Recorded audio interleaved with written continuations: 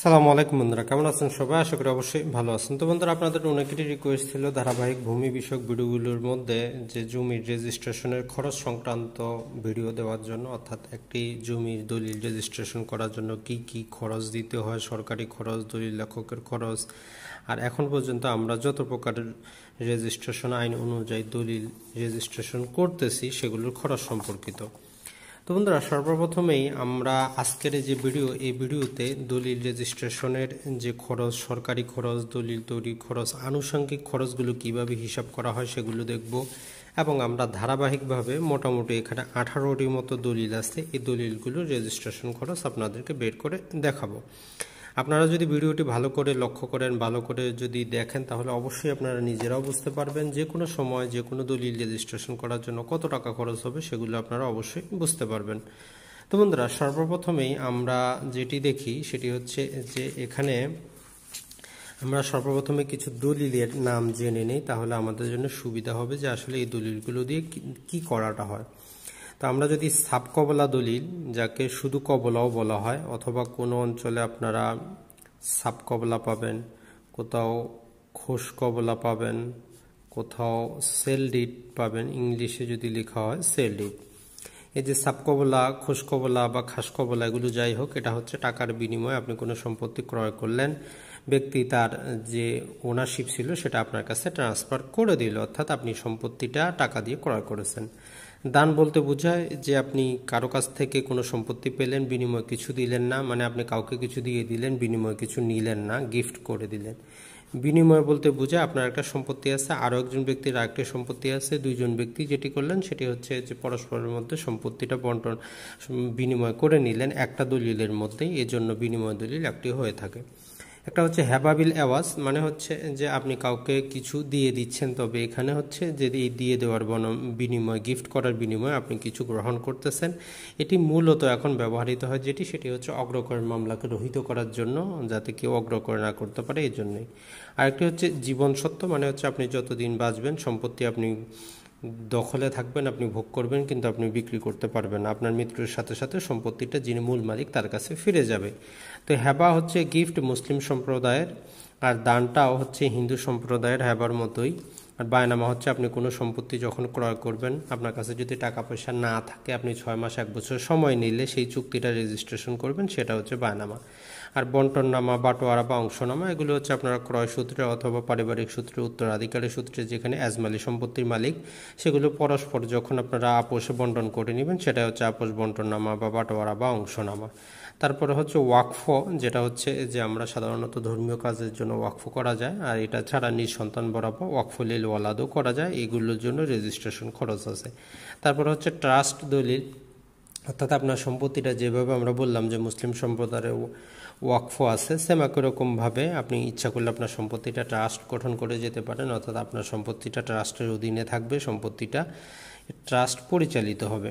হচ্ছে বন্ধকি দলিল মানে হচ্ছে ব্যাংক থেকে আমরা আর্থিক প্রতিষ্ঠান থেকে যখন লোন নিব যখন সেই যে টাকার সিকিউরিটি স্বরূপ আমাদেরকে সম্পত্তি বন্ধক রাখতে হয়, এটা হচ্ছে বন্ধকি দলিল। পাওয়ার অফ অ্যাটর্নি দলিল, আমরা কাউকে আমাদের সম্পত্তিটা দেখাশোনা করার জন্য, বিক্রি করার জন্য যখন পাওয়ার দিব, যখন তাকে মুক্তা নিয়োগ করব, সেটা হচ্ছে পাওয়ার অফ অ্যাটর্নি রহিতকরণ দলিল, কিছু দলিল আছে, এগুলো রহিতকরণ দলিল করতে হয়। যেমন আমরা যে পাওয়ার অফ অ্যাটর্নিংয়ের জন্য রহিতকরণ দলিল, বায়নামা পত্রের জন্য রহিতকরণ দলিল করতে হয়। ভ্রমণ সংশোধন দলিল মানে হচ্ছে আপনি যে দলিলটি পূর্বে রেজিস্ট্রেশন করেছেন, সেখানে তার করণিক বিভিন্ন ভুলের জন্য আপনি ভ্রম সংশোধন দলিল করতে পারেন।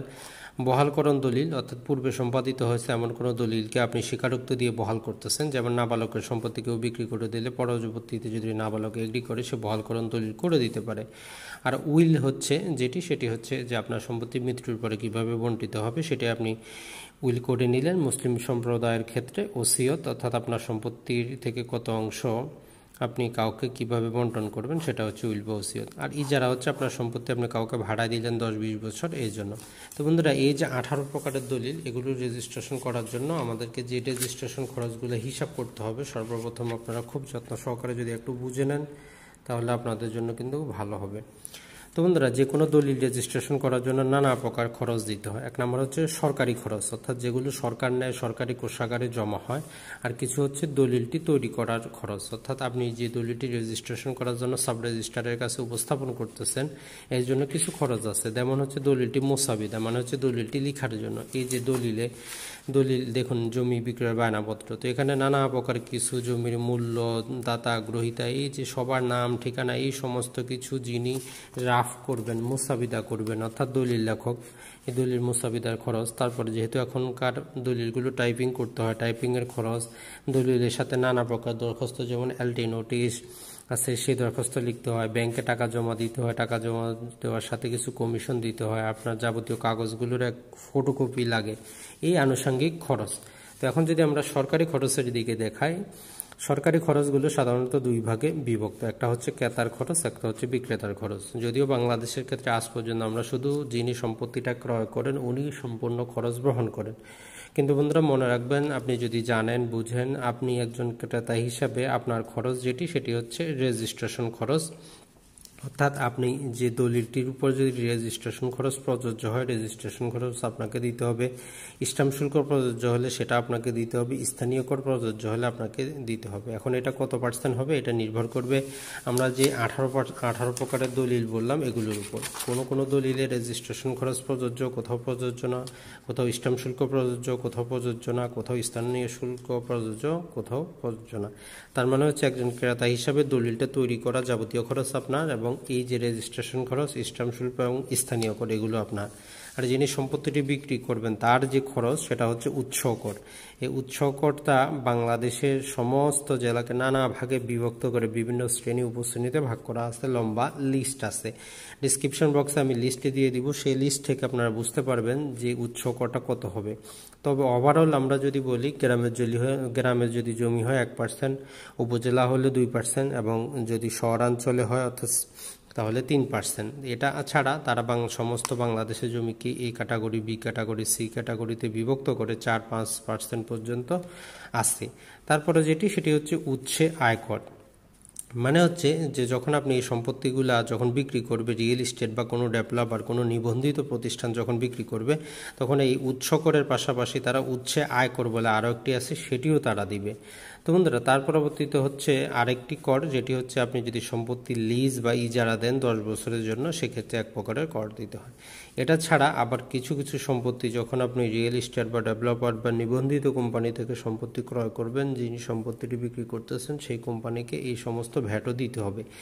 এই সমস্ত কিছু কোম্পানিগুলো প্রদান করবে মানে হচ্ছে বিক্রেতা মানে উৎস কর উৎসে আয়কর উৎসে আয়কর অর্থাৎ উনিশশো চুরাশি সালের আয়কর, অধ্যাদেশ fifty three H fifty three F F fifty three double H আর ভ্যাট। যেই সমস্ত দলিলে সবগুলো কিন্তু প্রযোজ্য না। একটি কথা মনে রাখবেন, শুধু উৎস করটা কিছু দলিলে প্রযোজ্য হয়। উৎস আয়করটা যখন রিয়েল এস্টেট হয়, তখন প্রযোজ্য হয়।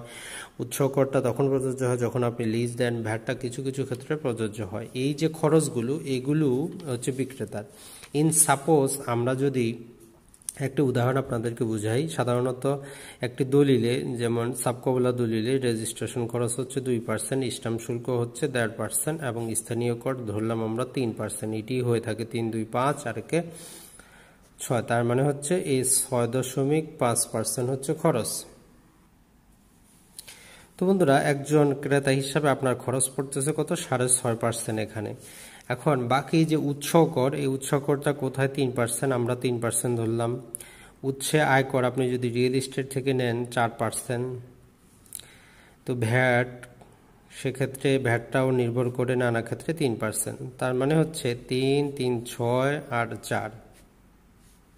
দশ পার্সেন্ট অর্থাৎ যেখানে আপনি যদি একটি ফ্ল্যাট রেজিস্ট্রেশন করতে চান আপনার খরচ হচ্ছে মাত্র সাড়ে ছয় পার্সেন্ট আর যিনি বিক্রি করতেছেন তার হচ্ছে দশ পার্সেন্ট। কিন্তু সমস্যা হচ্ছে ওভারঅল ওভারঅল যেটি করা হয়, এই যে বিক্রেতা এক টাকাও দেন না, সম্পূর্ণ ক্রেতাকে পরিশোধ করতে হয়।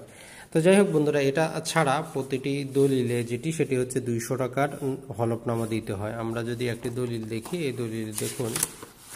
এই দলিলে যদি আমরা শেষের দিকে দেখি এখানে লেখা আছে, দেখুন, হলফনামা, আর এখানে লেখা আছে একশো টাকা। এরকম দুইশো টাকা নন জুডিশিয়াল স্টাম্পে হলফনামা দিতে হয় প্রতিটি দলিলের জন্য।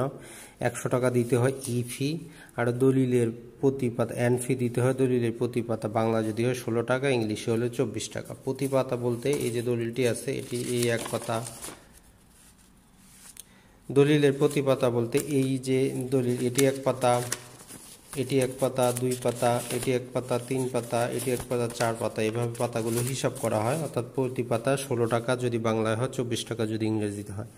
এন এন ফি মানে হচ্ছে নকল নবিশদের ফি যারা দলিলটি বালামি লিখবেন, প্রতি পাতা চব্বিশ টাকা করে, ইংলিশে হলে প্রতি পাতা ছত্রিশ টাকা করে। এটা ছাড়া এলটি নোটিশ প্রস্তুত করা হয় এলটি নোটিশে দশ টাকা কোর্ট ফি লাগাতে হয়। এই যে খরচগুলো, এগুলো জমির ক্রেতাকে গ্রহণ করতে হবে। তো বন্ধুরা, এখন আসি আমরা দলিল লেখকের যে খরচ, অর্থাৎ দলিলটি প্রস্তুত করার জন্য, দলিল মুসাবিদা করার জন্য পাতা পনেরো টাকা। আমরা যে প্রতি পাতা হিসাব করলাম, এই যে প্রতি পাতা কোথায় কি বসবে, সম্পত্তিটা কীভাবে আসলো, এগুলো দলিল লেখক, পুরাতন দলিল খতিয়ান দেখে ঠিক করবেন। এজন্য প্রতি পাতা পনেরো টাকা করে মুসাবিদা হতে লিখুন। অর্থাৎ যখন উনি সমস্ত কিছু ঠিক করবেন, যখন উনি লিখবেন প্রতি পাতা দশ টাকা করে আর এটা ছাড়া স্মরণ শক্তি থেকে লিখুন, আমরা জানি কিছু দলিলের ফরম্যাট নাই। সেই ফরম্যাট যখন নাই, যখন উনি স্মরণ শক্তিতে লিখবেন প্রতি পাতার পনেরো টাকা। এই তিনটি খরচ আসে দলিল লেখকের, এটা ছাড়া কিন্তু কোনো খরচ নাই। জাস্ট আমরা যদি দশ পাতার একটি দলিল হিসাব করি, তাহলে দশ গুণন পনেরো মানে হচ্ছে একশো পঞ্চাশ টাকা।